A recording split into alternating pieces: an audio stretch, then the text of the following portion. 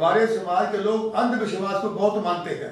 बाबा साहब जब डॉक्टर अंबेडकर जब इस देश के लॉ मिनिस्टर बने तो वो बैस्टर कोर्ट में रहे और उनको बोला गया कि भाई, आपके लिए अभी कोई बंगला खाली नहीं है और आप अभी यहीं रहेंगे। तो बाबा साहब ने बार बार बोला कि भाई, मेरे लिए बंगला कहाँ?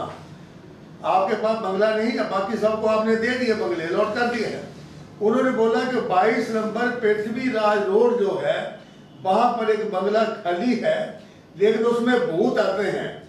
और उस भूत, भूतों की वजह से बाबा साहब डॉक्टर अंबेडकर को कहा कि लोग वो बंगला ले नहीं रहे। अगर आप चाहे तो वो बंगला ले लो, लेकिन उसमें भूत आते हैं। बाबा साहब ने सोच समझे कहा कि अभी अच्छा ठीक है, मुझे वही बाईस नंबर पृथ्वीराज रोड जो है, वो बंगला मुझे दे दो। बाईस नंबर पृथ्वीराज रोड जो है, वो बंगला बाबा साहब को मिल गया। बाबा साहब वहाँ गए, जाकर उन्होंने फूल, पौधे, पत्ती, गुलाब सब लगा दिए, खुशबूदार।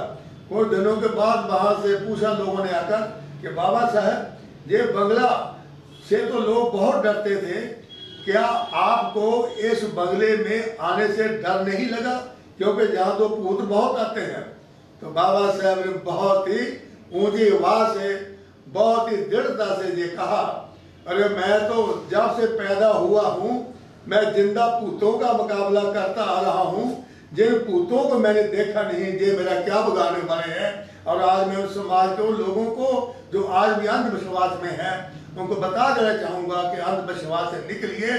और जब तक आप अंधविश्वास में रहेंगे तो आपकी कभी भी तरक्की नहीं हो सकती, समाज के तौर पर भी, आर्थिक तौर पर भी। इसी के साथ मैं अपनी बात को खत्म करता हूँ। जय भीम जय भारत।